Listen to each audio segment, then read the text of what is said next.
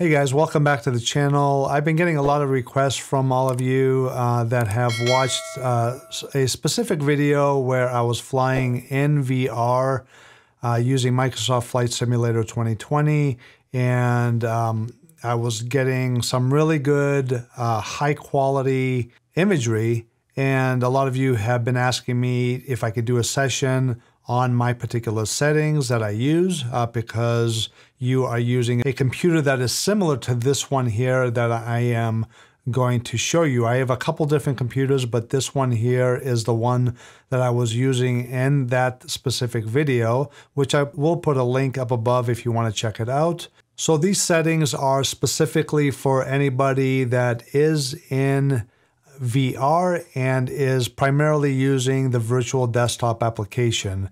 Um, this may or may not work for you as well as it is for me because you know we may have slightly different computers.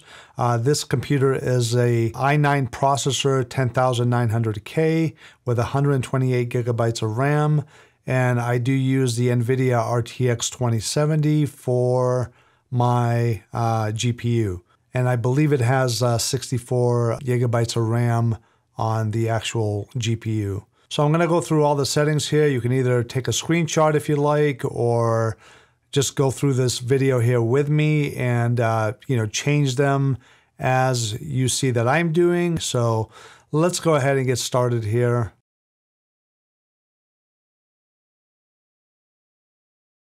Uh, the first thing you want to do is on the top left here, just uh, click on uh, this uh, section here where it says adjust uh, image settings. And then you want to make sure that you click this middle one here which says uh, use the advanced 3D image settings. And then make sure that you are on quality. Okay, once that's done, go to the second option here and then make sure you are on the global settings here, right on the uh, this tab here on the left hand side. And I'm just going to run through these here, and uh, you can just kind of take a note and um, screenshot it or whatever, and um, or you can just follow along with this video here. So um, the uh, image sharpening, I have uh, sharpening off, ambient occlusion is off. Anisotropic filtering, I have it 16 times. Anti-aliasing uh, is off. Anti-aliasing gamma uh, correction on. Anti-aliasing mode, application controlled. And anti-aliasing transparency uh, is off. Background application, uh, max frame rate, I have at 60 frames per second and uh, the uh, CUDA GPUs is all. Uh, CUDA system uh, fallback policy is uh, driver default. And then this uh, DSR factors is off. And let me go ahead and just scroll down here. Try not to lose my spot. All right. And then this uh, will probably be uh, grayed out, at least it is for me. Low latency mode I have at off. Uh, max frame rate I have at 45 frames per second. And the multi-frame uh, sampled uh, is off. OpenGL GDI compatibility is auto.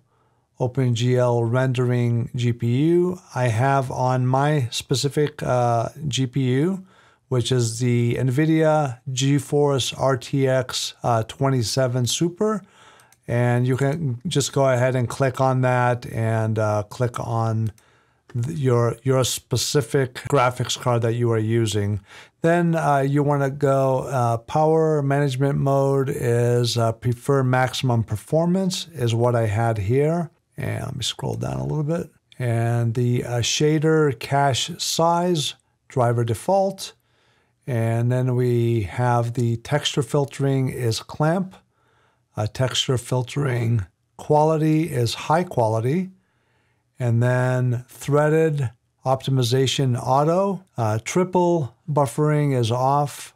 Vertical sync, adaptive, the half refresh rate. And uh, virtual reality um, uh, pre-rendering. You want to make sure this is on one. And then we have a virtual reality of variable rate uh, super sampling is off. And then this last uh, option here is on auto.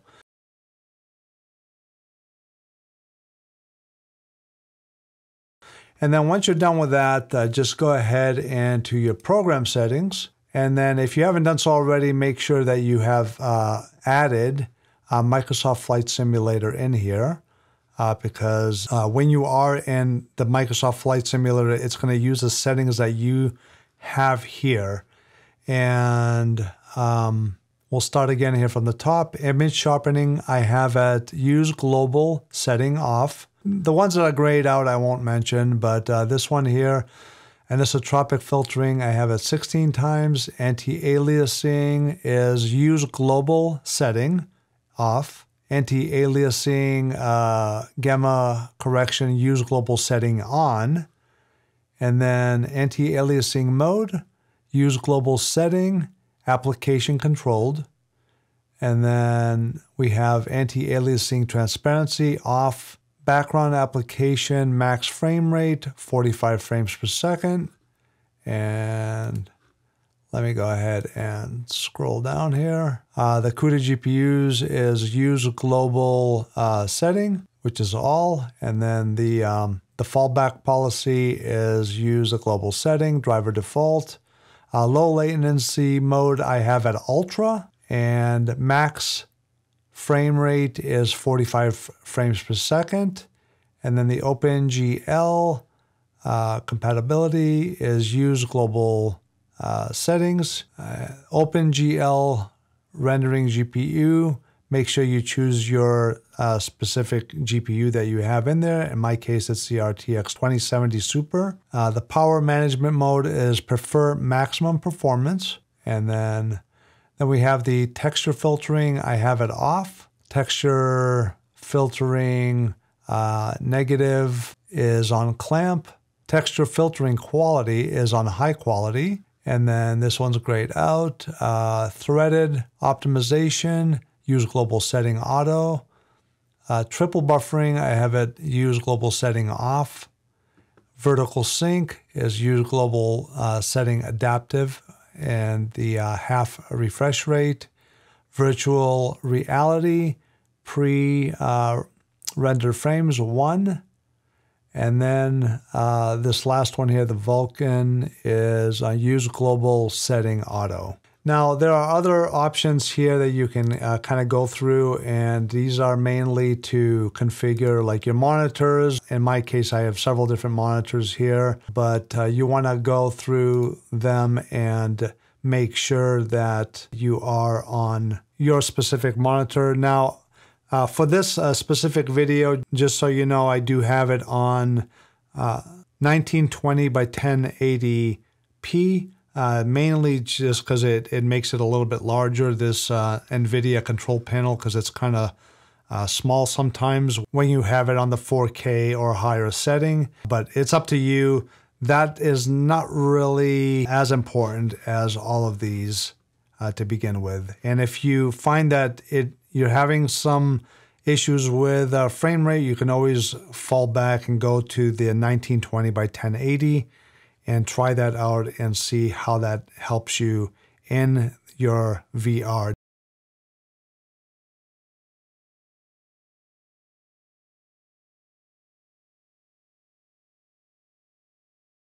Okay, on your virtual desktop streamer, uh, basically what you want to do is in the preferred codec. This really depends on your internet speed also. Uh, you can uh, try using the H264.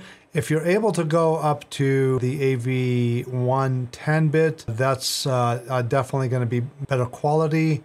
But I've had a couple of issues with this specific setting. So what I've done is I've gone to the uh, H264 Plus. Now, uh, I would only use this if you have a really fast internet. Like my internet uh, goes up to a gigabyte of download speed. Uh, so this enables you to adjust your settings in the VR up to 500 um, megabytes uh, uh, download speed.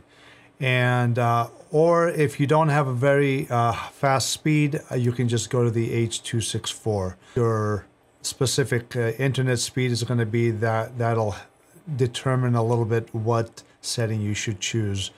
Uh, I do have the uh, adaptive optimization uh, checked. And then here you do have the option to go automatic, Steam VR, or the VDXR.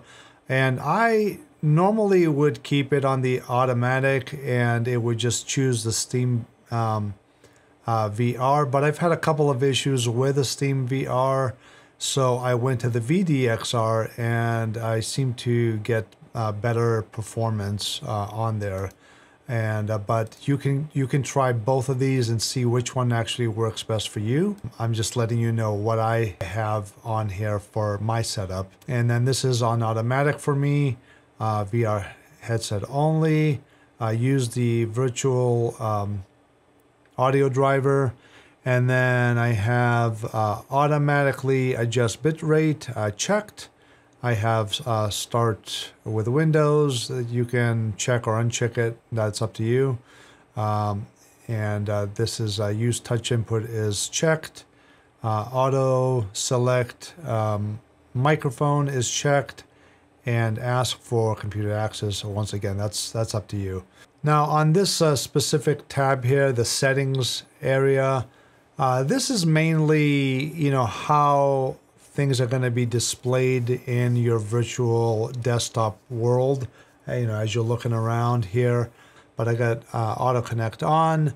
Uh, use optimal resolution, I have checked on the top there. And uh, then on the environment quality, I get it on medium, but I have used it on high before too. Uh, that's really, you know, up to you. And uh, frame rate, I have at 90 frames per second and uh, the desktop uh, bit rate I have at 65 Mbps. And you can you can adjust that um, you know whatever you like as far as that goes. All right. On the top right here where it's uh, screen brightness I have it 100% and uh, dynamic lighting enabled when a controller uh, is inactive. That's what I have set up and then the audio uh, background music when uh, disconnected is checked. And then for audio, I have uh, background music when disconnected checked, microphone pass through checked, and um, noise cancellation is checked. And I have it at 85%. Um, but once again, these are settings that are really just up to you. Um, copy uh, screenshots desktop is checked and increase uh, color vibrance I have checked also. And then uh, this uh, streaming section here is the most important in my opinion. Um, and uh, what you want to do in the top over here where it says uh, VR graphics quality, um, you want to set it to whatever you're currently using. now on the 2070, I would have it on medium. Yeah, I think that's what I had in the video. Uh, currently, I am on, uh, right now on the virtual desktop, I am using it on Ultra. And uh, this is for my other computer, which is a little bit more powerful. I do have a 4080 on that one. Uh, but yeah, if uh, you want to select the uh, specific graphics card that you have, if it's an RTX 2070, go to medium. RTX 3070, go to high, and so on and so forth. Uh, VR frame rate, I have a 90 frames per second. And uh, as you can see here, the VR bit rate, um, normally if you choose like the AV1 codec or the, uh, the 264, it'll limit you to 200 uh, megabytes per second that you can um, download and uh, the higher bit rate will increase image quality and latency. Um, but uh, the H264 Plus allows you to go all the way up to uh, 500 uh, megabytes uh, per second. And that's what I have uh, chosen here because I do have a pretty fast internet speed. sharpening is at 75%, and then um, I don't have anything checked off there.